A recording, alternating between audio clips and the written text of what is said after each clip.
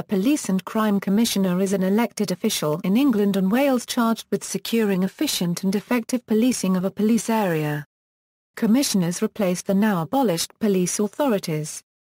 The first incumbents were elected on November 15, 2012 to serve for three and a half years, but subsequent commissioners are to be elected for four-year terms. The next elections will take place in May 2016. Separate arrangements exist for London and for some combined authority areas which have adopted a directly elected mayor. Policing in Scotland and Northern Ireland has been devolved to the Scottish Parliament and Northern Ireland Assembly, respectively.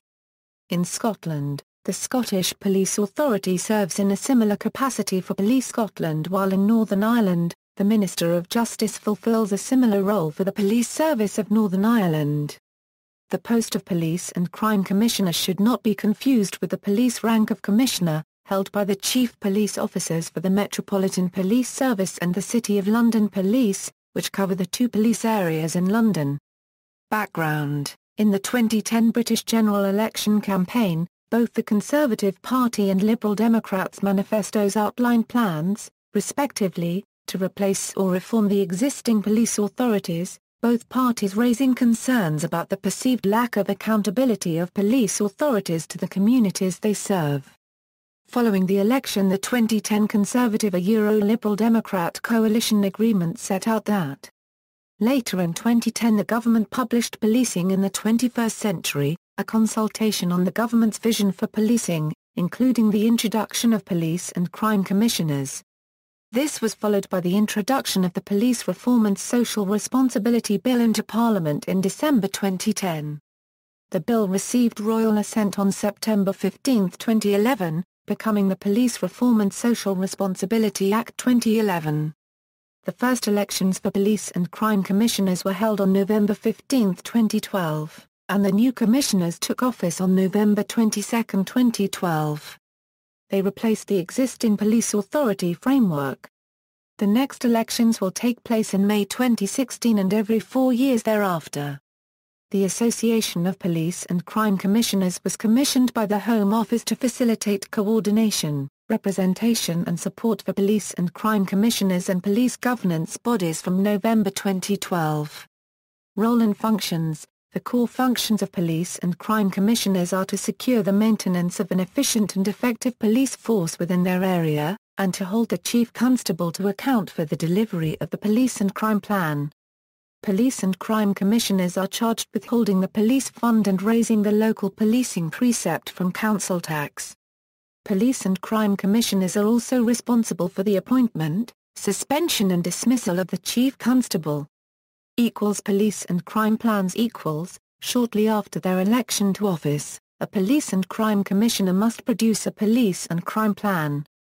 That plan must include his or her objectives for policing, what resources will be provided to the chief constable and how performance will be measured.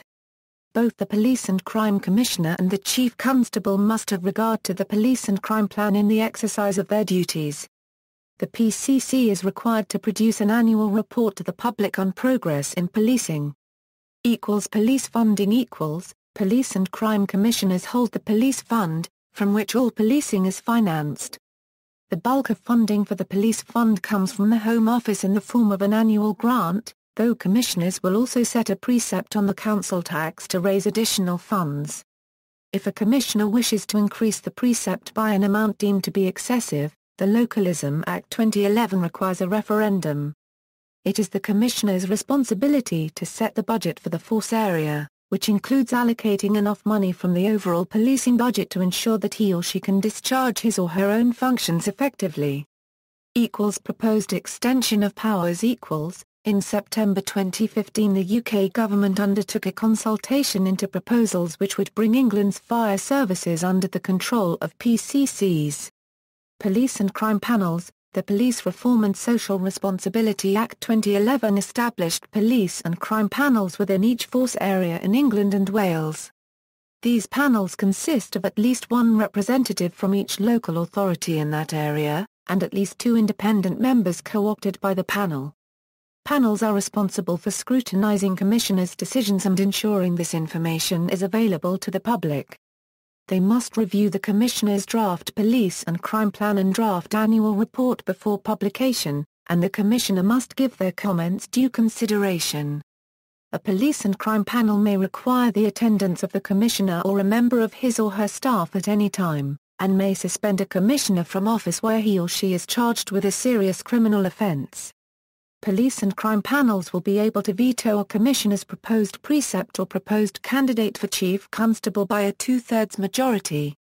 A National Audit Office report published in January 2014 found that there were few checks and balances on the 41 commissioners between elections. It said police and crime panels, which were set up to scrutinize PCCs, lack powers to act on the information they receive. Oath of impartiality, on August 16, 2012 the Home Office announced that every newly elected police and crime commissioner would be required to swear an oath of impartiality before taking office. The oath reads. The Minister for Policing and Criminal Justice, Nick Herbert said. Police and crime commissioners will be important public servants and it is right that they make a formal public commitment to the communities they will serve. Although police and crime commissioners may stand for a political party, the public will expect them to represent all the people in their area impartially, without fear or favor. The swearing of an oath will be an important symbol of this impartiality, emphasizing both the significance of this new role in local communities and that commissioners are there to serve the people, not a political party or any one section of their electorate. An oath will also underline the particular importance of even-handedness in an office which holds to account the local chief constable and police force who themselves are bound to serve impartially. The Association of Police and Crime Commissioners, set up to act as an umbrella body for the elected PCCs, revealed that it had been asked by the Home Office to seek views from police authorities and prospective candidates on the wording of the oath. By the time the first Police and Crime Commissioner had been elected, in November 2012, the original Home Office text of the Oath of Impartiality had been significantly modified. As an example, this is the amended oath actually delivered by the Police and Crime Commissioner for Avon and Somerset. In South Wales the title Oath of Impartiality was replaced by the term Oath of Office on the PCC's website with no mention of impartiality. In other police areas, like Thames Valley, the PCC's website describes it simply as the oath. The written form of the oath which is signed by all PCCs on taking office is not headed Oath of Impartiality, but Declaration of Acceptance of Office. Eligibility for election, candidates must be 18 or over and registered to vote within the police area on the date of nomination. Members of the House of Lords are not barred from standing. Members of the House of Commons are not barred from standing but, if they win, they must resign before they can take up a PCC appointment. Those disqualified from standing continuing to hold office include, anyone nominated as a candidate at a police and crime commissioner election taking place on the same day for a different police area. Anyone who was not a British, European Union or qualifying Commonwealth citizen. Anyone who has ever been convicted of an imprisonable offence irrespective of whether they actually were imprisoned or whether the conviction is spent. Anyone who is a police officer or is directly or indirectly employed by the police. Anyone who was disqualified under certain provisions of the House of Commons Disqualification Act 1975 including civil servants, members of the regular armed forces or the holders of any judicial offices specified in Part 1 of Schedule 1 of the House of Commons Disqualification Act 1975. Anyone who was a member of the legislature of any country or territory outside the UK. Anyone who is a member of staff of a local council that falls wholly or partly within the police area in which the election is to be held, including anyone employed in an organisation that is under the control of a local council in the police area for which the election is to be held. Anyone who is the subject of a debt relief order or interim order, a bankruptcy restrictions order or interim order, or a debt relief restrictions undertaking, Anyone who was disqualified under the Representation of the People Act 1983 or under the Audit Commission Act 1998. Candidates must secure the signatures of 100 people registered to vote within the force area in which they wish to stand and must pay a deposit of a £5,000. Office holders equals 2012 elections equals Nominations for the 2012 elections closed at 12 o'clock on October 19, 2012 and voting took place on November 15, 2012.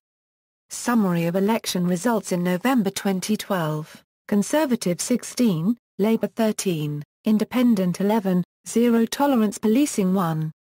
Equals England equals, in Greater London there are two police forces, the City of London is policed by the City of London Police and the City of London Corporation is the police authority. The Metropolitan Police District is policed by the Metropolitan Police Service and the Mayor of London is the police authority through the Mayor's Office for Policing and Crime. The Mayor may also appoint a Deputy Mayor for Policing and Crime to act on his behalf. Equals Wales equals. Equals 2016 elections equals, Elections for the 41 police force areas in England and Wales will take place on Thursday 5 May 2016. Possible abolition There has been controversy over the system of directly elected police and crime commissioners. Issues have included conflict between PCCs and chief constables, questions over PCC expenses, the cost of elections and low voter turnout. The Plain English campaign described the commissioners as serial offenders in mangling of the English language, and the use of jargon. The Home Secretary Theresa May, who introduced the system, considered it to have had mixed success. The Liberal Democrats have indicated that they would scrap the positions. In light of this, the Liberal Democrats boycotted the 2014 South Yorkshire PCC by-election. The replacement of some PPCs with directly elected mayors is expected to occur as a result of the Cities and Local Government Devolution Bill 2015 a Euro 16. References. External links, Home Office website, Police and Crime Commissioners page, Police Crime Commissioner latest news website